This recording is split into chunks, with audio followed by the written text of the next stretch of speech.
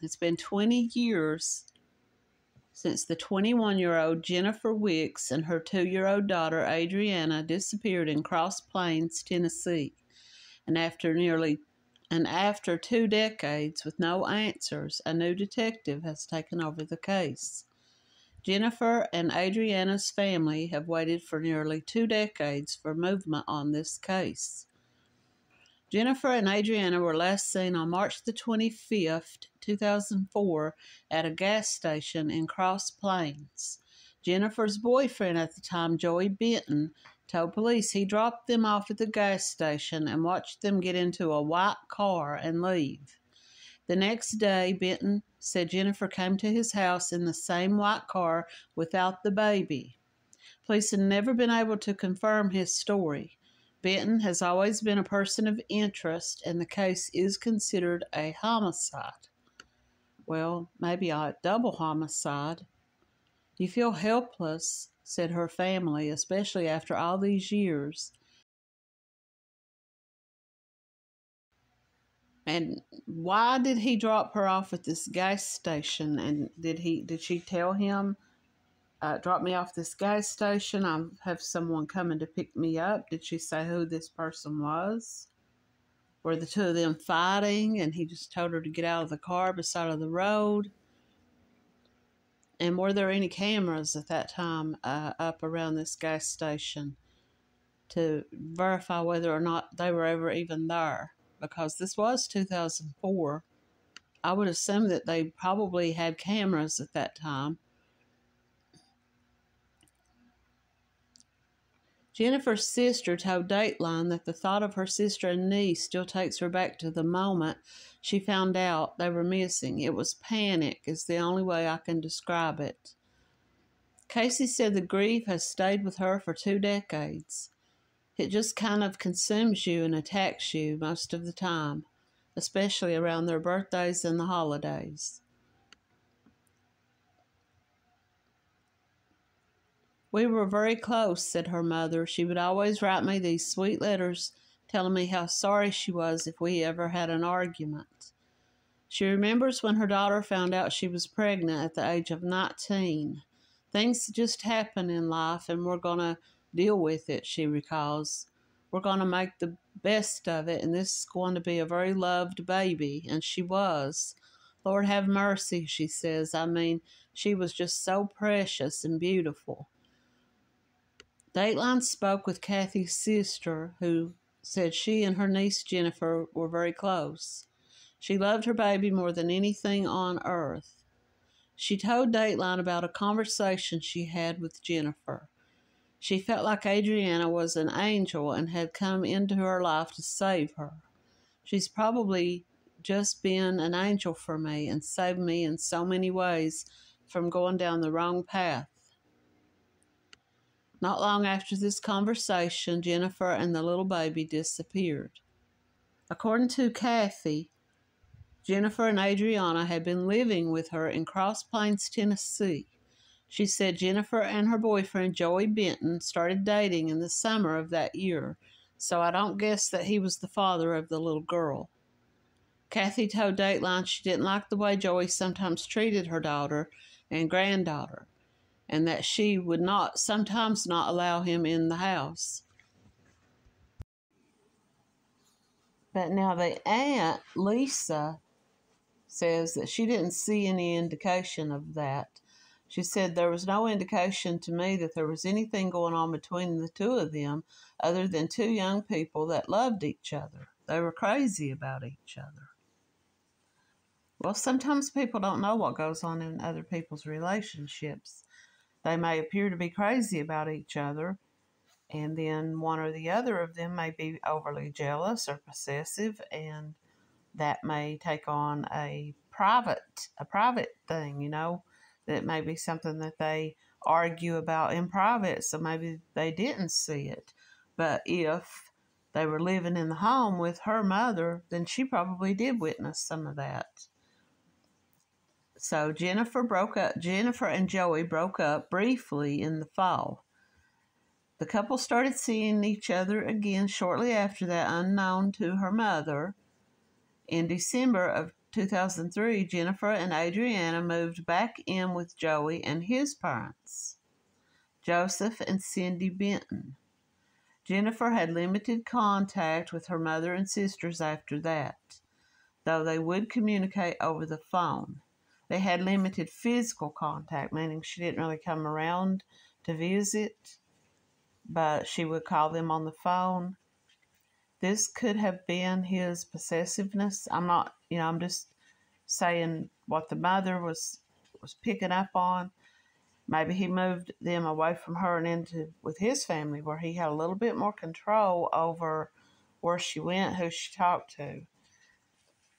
So now this was her younger sister, Casey, who was turning 16.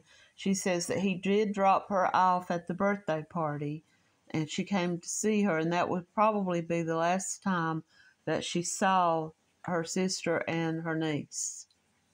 Just weeks later, Jennifer and Adrianna would vanish. Lisa, the aunt, I know there's all these different people. Kathy is the mother, Lisa is the aunt. Lisa told Dateline that she drove Jennifer and the baby to the hospital on Monday, March the 22nd, 2004. She said the baby had been a little bit sick and she also had a rash. Kathy says she met Jennifer, Joey, and Adrianna on Tuesday, March the 23rd, outside of the Dollar General so she could give her daughter some homemade cream for the baby's rash. The, ba- the baby was crying to come home with me, Kathy remembered, but I had to work the next day.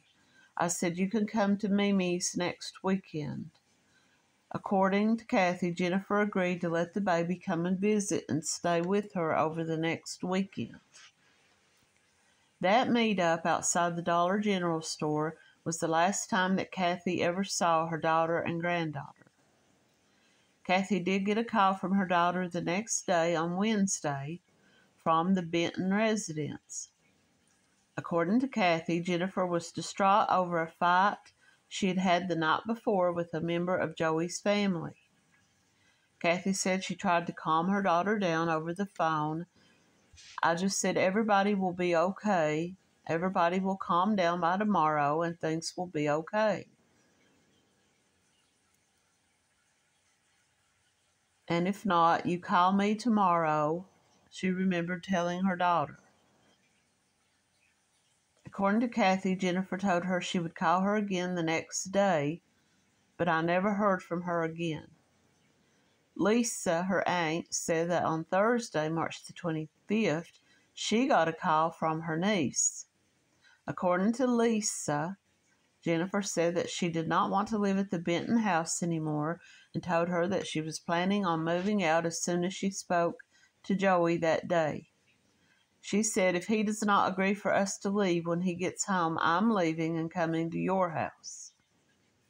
Lisa said that she left a spare key outside and told Jennifer just in case she did come back to her house, she would be able to get, let herself in. She never came, and needless to say, Lisa believes that something happened to Jennifer that day. I also know for a fact that if something had not happened to her, she would have called me, and she didn't. Dateline spoke to Jennifer's cousin, Jeff Grayson, who is Lisa's son. Jeff said that on March the 25th, 2004, he was working with Joey Benton at a construction site. They were friends. It was just a normal day, he said. We were just working, you know, and Joey got a phone call and said he had to leave. It was really fast. It was really like something happened, you know, like I gotta go, I gotta go. It was really, really urgent. Casey and Kathy said that Joey later told them he found Jennifer locked inside the bedroom when he got home that day. That evening, he took Jennifer. That evening, he said he and Jennifer took a drive to talk about things. And according to Casey and Kathy, Joey said that Adrianna was with them. They decided to break up while they were driving around. Dateline reached out to Joey Benton over text in March of 2024 and asked for an interview. He agreed and replied, I've never declined to answer any questions on this matter. Despite multiple attempts, Dateline has not been able to conduct an interview. Dateline also reached out to Joey's mother, Cindy, who said she respectfully declined to discuss things. Dateline was unable to contact any other family members. The Robertson County Sheriff's Office was the initial investigative agency. In December of 2013, ahead of the 10th anniversary of their disappearance, they posted details about the investigation on their website. I don't know who who she had gotten into an argument with in the house that day, if it was the mother-in-law, the father-in-law, or the the mother and the father or, or the father of her boyfriend. I don't know if there were other relatives living there or if it was someone who'd come to the home to visit. Maybe there's more details in the story as I read on. I think probably what happened was he come home, she probably told him I'm leaving. It could have been also that while he was at work that day, this argument that she'd had with this person came back up and escalated, and that person might have been responsible for having harmed her. Just like in any of these types of cases, in most of these types of cases, especially in a small town, you have your rumor mill. And I came across this website as I was doing some research, and this is all from 2009. Some of these go back as far as 2004 this is some comments that were taken from local people who were talking about this, who were talking about this family, this this Benton family. And um, I'm just going to read from this. It's called Blue Crime Hunter. I'm often shocked beyond belief when reading about a crime story, but the story of Jennifer and Adrianna, who, um, according to some, the family called her Nina. I didn't even know existed.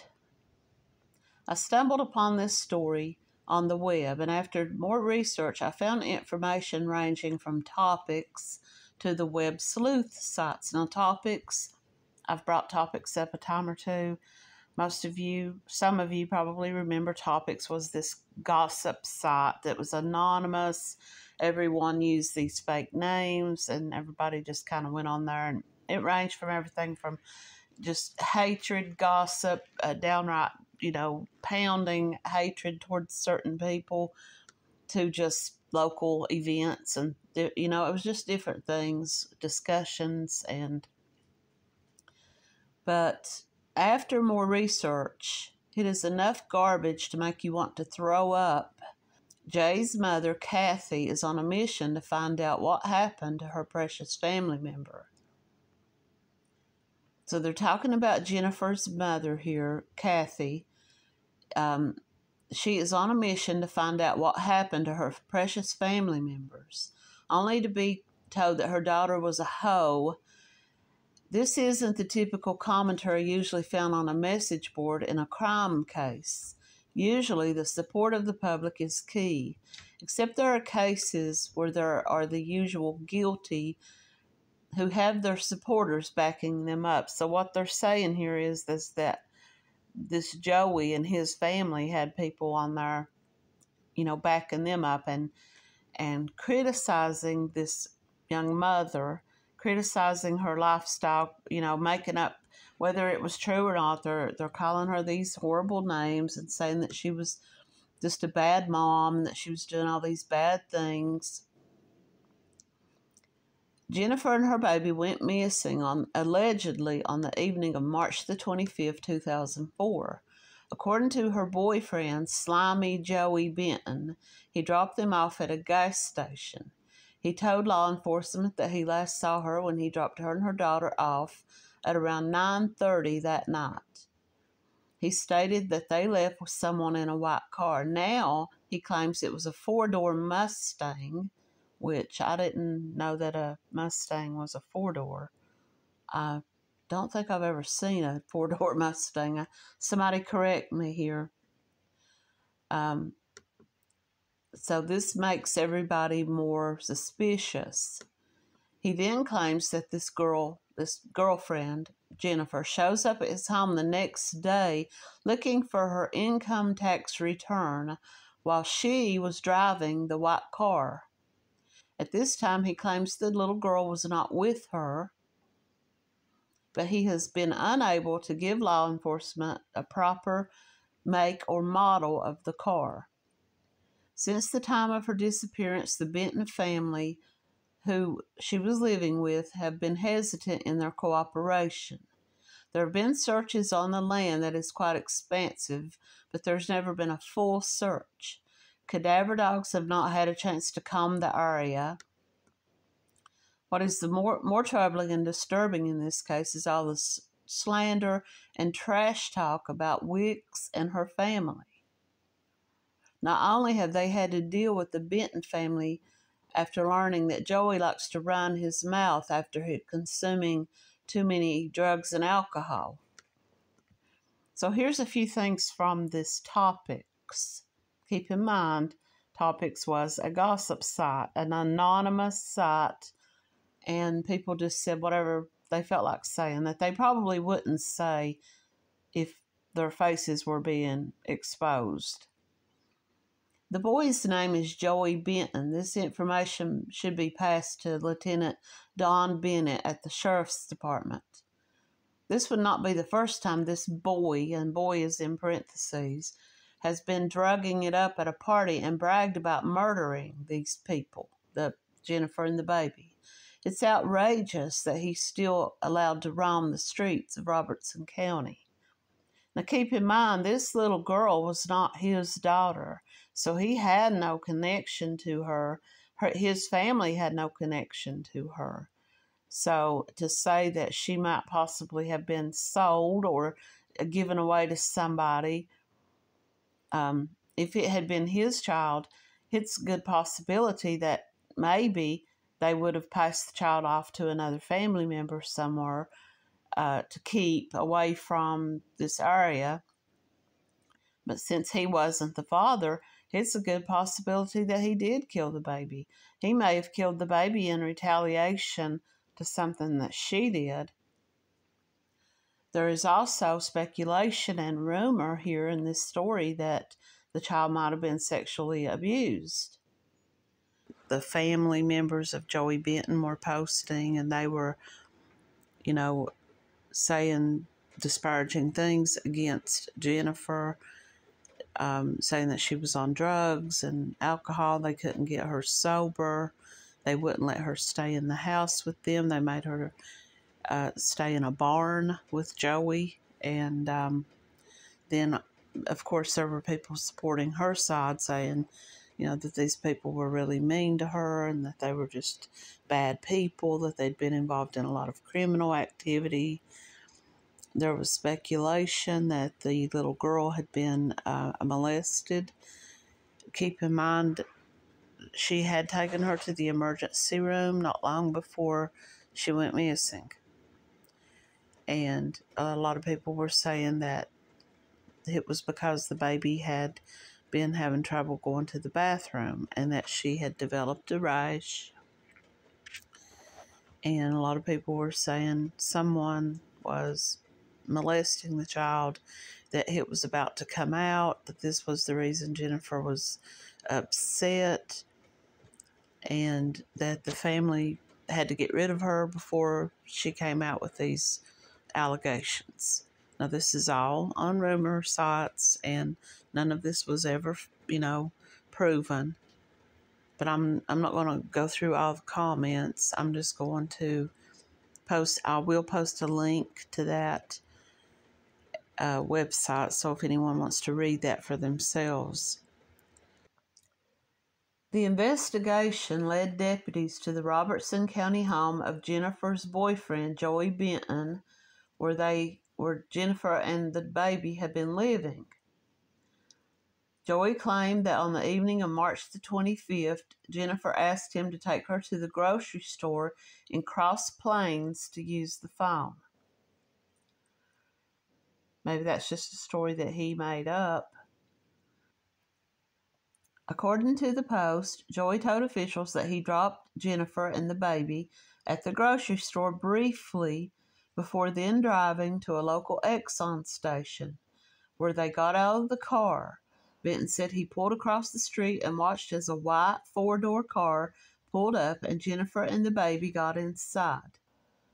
Jen- Benton also claimed that on March the 26th, 2004, Jennifer showed back up at his house and collected her belongings and said that she needed some time away. The Robertson County Sheriff's Office noted that Joey's claim of driving them to the grocery store and the Exxon station was never proven. It was never there was never any witnesses or anything that could say definitely that that he did that. Despite countless hours of investigation and numerous interviews, the last person known to have spoken to Jennifer was her father, Michael, who, phone records confirm, talked with her at approximately 11 a.m. on March the 25th, 2004. Michael Wix, her father, lived in Manchester.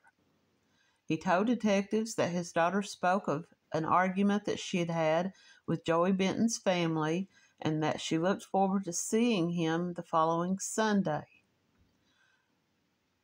Michael Wix said he never heard from his daughter again. Kathy Nell, her mother, reported her and the baby missing on Saturday, March the 27th. According to the Robertson County Sheriff's Office, as of December 2013, the Benton household has been searched on four separate occasions. No one, including Joey Benton, has been eliminated as possibly being involved in the disappearance. The sheriff's office noted that there has always been strong implications of foul play, and it was investigated as a homicide from the very beginning. In a 2013 release ahead of the 10th anniversary, they announced they the case had formally been classified as a homicide. So, if the case was classified as a homicide and the home had been searched four times, I'm going to go out on a limb here and say they were suspecting either Joey or members of his family or all to be involved. It's part of the grieving process, she said, it never changes. There's not a lot of hope left, she said, so I just have to live with my old memories. The problem is is that I get older, memories seem to fade. I mean the memory of them will never be completely gone, but I can't remember the sound of my daughter's voice. Adrianna would be 22 today. I've always held out hope. That's the reason I'm on Ancestry.com. Kathy told Dateline. Because if Adrianna ever, if she's out there and she ever thinks, you know, that she may find out she's adopted or maybe she's with some family member um, and she just feels like I don't know who I am or where I belong, maybe she will do one of these DNA ancestry kits maybe just out of curiosity, and that she might match with me. Jennifer's cousin Jeff told Dateline that the ever present grief over the last 20 years has turned our family upside down, he said. Kathy, Lisa, Casey, and Jeff separately expressed, There's nothing I'd love more than to find out what the hell happened, he said. So they they they served a search warrant on the property very recently, and they said it did not have anything to do with Jennifer or the baby. So what are they searching for? It's important to remember that the case remains open and active and that the Sheriff will not speak about an active investigation. So, goes on to say that though the sheriff's office is not officially connecting the dots, the internet is abuzz today following reports that multiple agencies are at the home on Owens Chapel Road. The home carries connections to Jennifer and Adrianna Wix. So this must be the home that they lived in when this happened. The presence of law enforcement at the home and the sheriff's office, with the assistance of TBI, is executing a search warrant at the residence in relation to an active investigation. So I wonder how well those areas were searched. Is there a lake near that property or a pond? Tennessee, I'm sure there's lakes and ponds, you know, pretty close by. After receiving numerous reports of loud explosions around 11 p.m. Wednesday evening, Smoky Barn News conducted an investigation and found that the Robertson County Emergency Management Agency is engaged in an operation. While specifics were not disclosed, it was confirmed that the agency is ins- ensuring public safety. It goes on to recount the story that he told about taking her to the store and dropping her off I find that story very hard to believe, according to what the mother said, that he, that she saw, she saw signs that he was somewhat controlling of her daughter and she didn't really like him all that well. And then the daughter calls up and tells the aunt about this fight that she'd had with a family member of his just a day earlier and that she wants to move out. She wants him to move out as well. The best thing she could have done was just pack a bag and bring the baby and just say, you know, ask the aunt or the mom or someone to come pick her up. As Season to Remember services in memory of homicide victims are held throughout the country at this time of year, the Robertson County Sheriff's Office is committed to not letting Jennifer and Adrianna be forgotten. I strongly believe that there are persons in this community who know what happened to them. They are reluctant to come forward for one reason or another. Today, we strongly encourage our citizens to help find answers and to bring closure to this family. This is Sheriff Bill Holt. Holt said a special tip line has been set up for anyone wants to leave information can contact an investigator at the Robertson County Sheriff's Office at 615 478 5763. So, just to close this story out, I'll just say as of today, the story the story has picked up some new leads apparently. Whether those are uh, legitimate and i don't know what these explosions were um, were, were they maybe indicating that somebody was burning something to get rid of old evidence on the property to make sure that it would never be found? I don't know was it drug related? I don't know that either. But if anything new, i am going to continue to follow this story. I'm going to follow the Facebook page for any new updates. There's a $25,000 reward for information in the case. If you know anything, call the Robertson County Sheriff's Department at 615 384 7981. You may remain anonymous. And if anything new comes up about the story, I will do a follow up. Thanks for watching.